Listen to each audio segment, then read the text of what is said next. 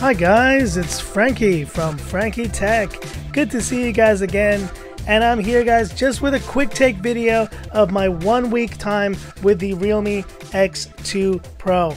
Now, once again, I want to say thank you to all you guys who were supporting me, leaving those comments this weekend about hitting 100,000 subscribers. I'm so blessed, and I've decided to just kind of take it easy this weekend. But I did want to just give a quick update on how my time has been with this Realme X2 Pro. And I do also want to do a, just a quick comparison again with the Realme X2 and answer just a few quick questions you guys have been having. So, what has the one week experience with this phone been like? I gotta say, from just a perspective of value. Owning a phone like this feels so good because when you're talking about value, there's nothing better on the market at this point. And I think as of right now, the Mi 9T Pro has been surpassed by this Realme X2 Pro from the design and the really kind of decent build quality. It's not the best build quality, but I think it does the job all right. To this very nice kind of Neptune blue back it's not for everyone, but I do think if you like the glossy look, you'll still like this. The center placement, I don't mind as well. This nice kind of nice gold accent around the 64 megapixel uh, Samsung GW1 sensor is great, but the real win here is with this display. That 90 hertz refresh rate I have enjoyed using all the time, and it is no different than the one from the OnePlus 7T. Fluidity of the software is also solid. I think that is one of the major things I've noticed about ColorOS 6.1. It has been performing very nicely. All the apps kind of work very well. Now, is it to the smoothness of Oxygen OS 10? You know, I'm going to do the counterpoint here.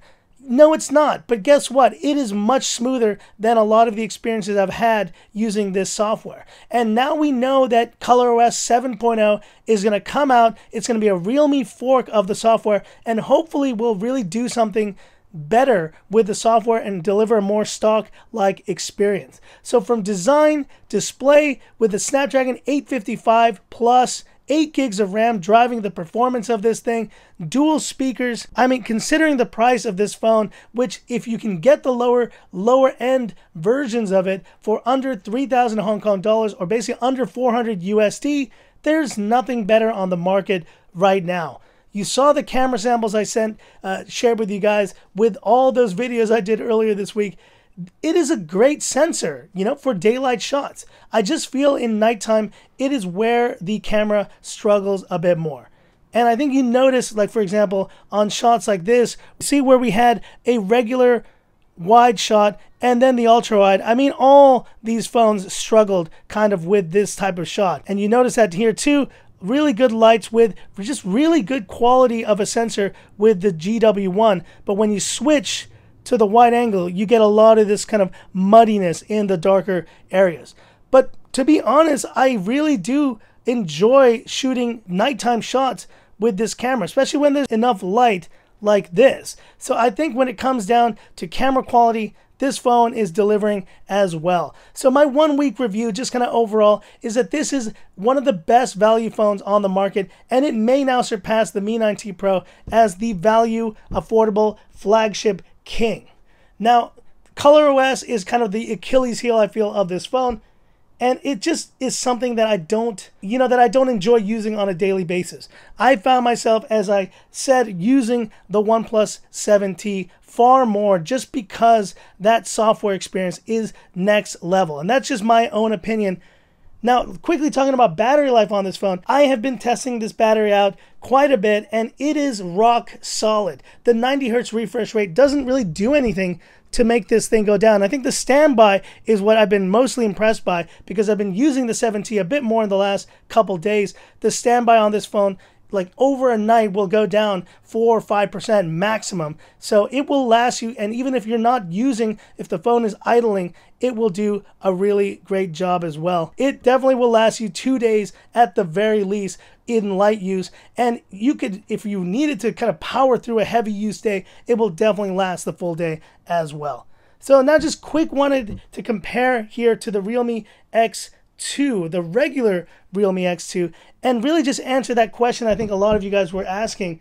Well, Frankie Tech, the Realme X2 Pro seems like an amazing value, But guess what? The Realme X2 with its Snapdragon 730G and still decent build quality. Yes, it is plastic on the edges, as you, can, as you can see right here, but it still delivers a lot to the table.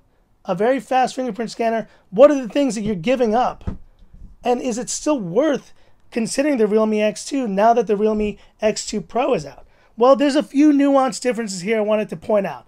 So one is the build quality. Obviously, we got a metal edge on this phone. It just feels a lot more premium, but we still got that Gorilla Glass on the back of the Realme X2. And I do appreciate that they didn't skimp on that. They easily could have put a plastic back on this phone, but they didn't. Another difference I think that you're getting, a benefit you're getting with the X2 Pro, and maybe you notice it here. Let me bring it close. Do you notice anything? Well, if you just with the discerning eye, you will notice that the teardrop notch on the X2 Pro is smaller than the one on the X2. So they've reduced, and the kind of similar 7T teardrop notch, the one that's been reduced by a certain percentage over the previous generations, is the one that is on this phone. The regular X2 is still using that slightly larger teardrop notch. Now, you see from a distance, you wouldn't notice that, but when I bring it up close, it is far more noticeable. The bottom bezel, though, is exactly the same. In terms of performance, I think that's where you're going to see a major difference well, let's go to display first. In terms of display, that's the other feature you would need to decide if it's important to you is that 90 hertz refresh rate.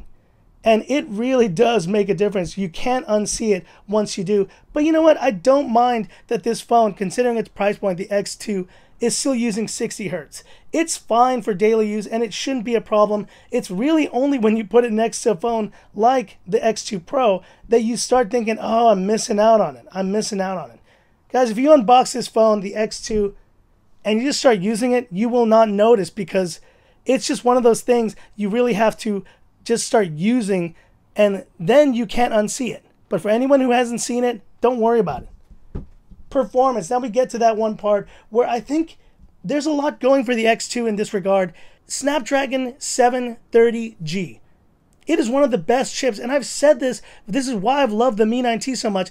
The 730 series of chips, including the 730G, is just one of the best balanced chips on the market when it comes to battery, just optimization, and efficiency.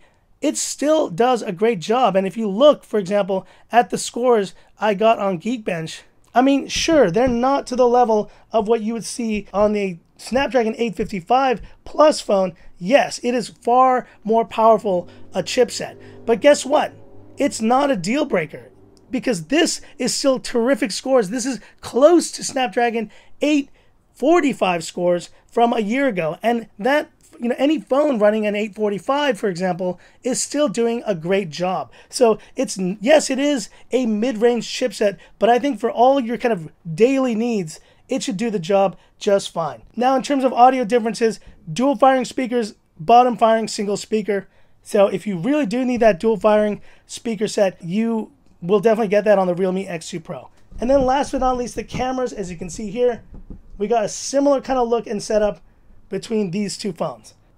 And we've got that same 64 megapixel Samsung GW1 I'd say in the cameras, that's where there's actually a lot of overlap. And if you're at least using the main sensor, they've improved some of the other sensors, but the main sensor will give you kind of similar results here, which is why I think the Realme X2 Pro is really punching above its weight class in that department. But I guess the point is, once you start factoring in a lot of these little improvements from the X2 to the X2 Pro, from the design, the 90 hertz display, slightly larger display as well, just because basically the teardrop notch is reduced, just less intrusive from a notch perspective.